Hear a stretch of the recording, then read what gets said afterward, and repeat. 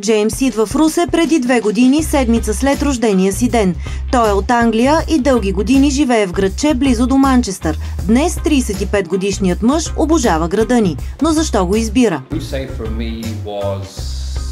Quite Mediterranean looking. It had a, a very nice feel to it. Русе за мен имаше много средиземноморски вид. Имате прекрасни гледки тук. Архитектурата също е много впечатляваща. Изглежда така, сякаш сградите са построени за да бъдат истински център. Точно за това съм се мечтал. За Джеймс е особено важно, че в Русе няма големи задръствания и тълпи. Можеш да седнеш спокойно на кафе, без нищо да те притеснява. А и русенци го впечатляват. Um. Намирам хората тук за дружелюбни и гостоприемни и много ги харесвам. Поданикът на кралицата се занимава с интернет бизнес. Смята, че младите хора тук са образовани и талантливи. Натъжава се, че повечето напускат Русе и търсят работа в чужбина. Убеден е, че те имат бъдеще и тук. Може ли да говори вече Джеймс на български язик?